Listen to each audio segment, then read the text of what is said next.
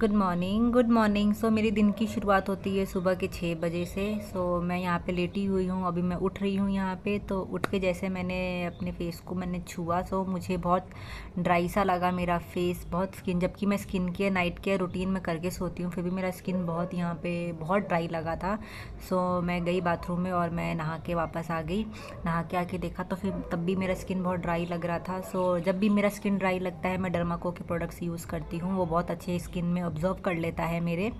सो वहाँ पे मैंने सीरम लगाया। ये डर्माकोक का मेरा सनस्क्रीन है, वो मैंने यहाँ पे मैं लगा रही हूँ। और उसके बाद सबसे अच्छा ऑयली स्किन के लिए लैक्टोकेलामाइन एक लोशन होती है।